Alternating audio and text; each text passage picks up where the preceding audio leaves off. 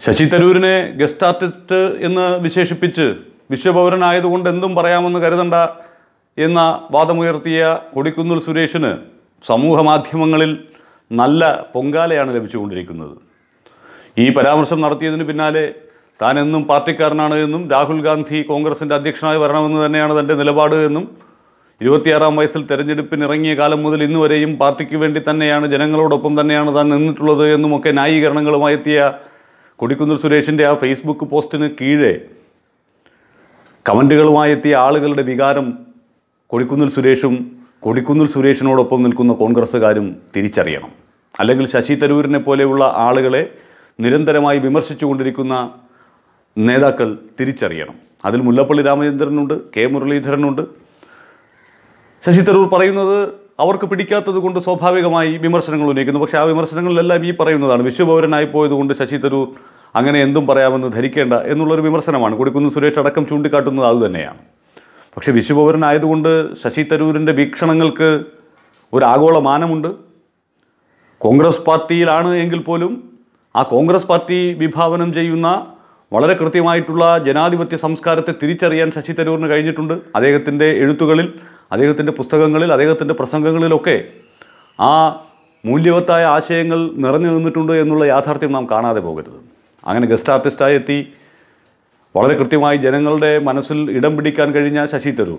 ഒരുപക്ഷേ കൊടിക്കുന്നിൽ സുരേഷും കെ മുരളീധരനും മുല്ലപ്പള്ളിയും എന്നും പറയുന്ന രാഷ്ട്രീയത്തിലെ കോൺഗ്രസ് രാഷ്ട്രീയത്തിലെ ആ വൃത്തികെട്ട കളികൾ ഒരുപക്ഷെ ശശി തരൂരിന് അറിയില്ലായിരിക്കാം. അതുകൊണ്ട് പാർട്ടിയിലെ നേതൃപദവികളിലേക്ക് ശശി തരൂരിനെ ഇതുവരെ പരിഗണിച്ചിട്ടുമില്ല. എങ്കിൽ പോലും ഒരു ജനപ്രതിനിധി എന്നുള്ള നിലയിൽ ജനാധിപത്യ സംവിധാനത്തിന്റെ ഭാഗമായിട്ടുള്ള പാർലമെന്റിലെ ഒരു അംഗം എന്നുള്ള നിലയിൽ ജനങ്ങൾക്ക് വേണ്ടി എന്തു ചെയ്യാൻ സാധിക്കുമെന്ന് ഉറപ്പായും തെളിയിച്ചിട്ടുള്ള വ്യക്തി തന്നെയാണ് ശശി തരൂർ. അതാണ് കൊടിക്കുന്നിൽ സുരേഷിന്റെ ഫേസ്ബുക്ക് പോസ്റ്റിന് കീഴെ ആളുകൾ ചൂണ്ടിക്കാണിച്ചുകൊണ്ടിരിക്കുന്നത്.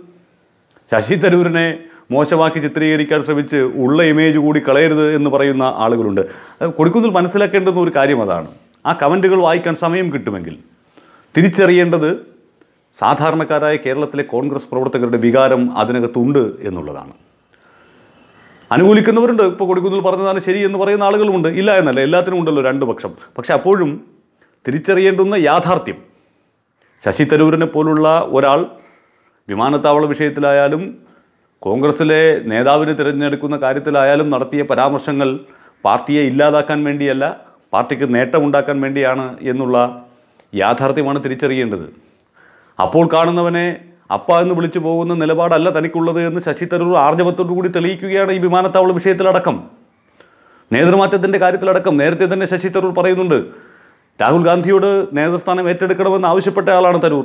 പക്ഷേ രാഹുൽ ഗാന്ധിക്ക് അത് കഴിയില്ല എന്ന് ആവർത്തിച്ച് പറഞ്ഞുകൊണ്ടിരിക്കുമ്പോൾ പിന്നെ പാർട്ടി രക്ഷപ്പെടണമെങ്കിൽ ഒരു നേതാവ് വേണമെന്നുള്ള വാദമാണ് അവർ ഉയർത്തിയത്. അതിലെന്താണ് തെറ്റ്?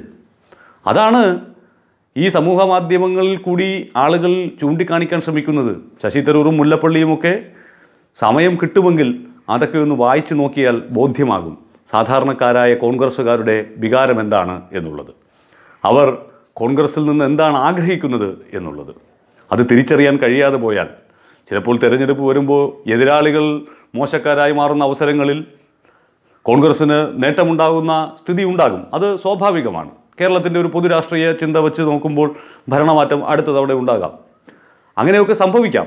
പക്ഷേ അപ്പോഴും അടിവേരിളകി പോവുകയാണ് എന്നുള്ള യാഥാർത്ഥ്യം തിരിച്ചറിയണം. രാജ്യവ്യാപകമായി കോൺഗ്രസ്സിന് സംഭവിച്ച അവജയം എന്ത് എന്ന് മനസ്സിരുത്തി ആലോചിച്ച് നോക്കണം.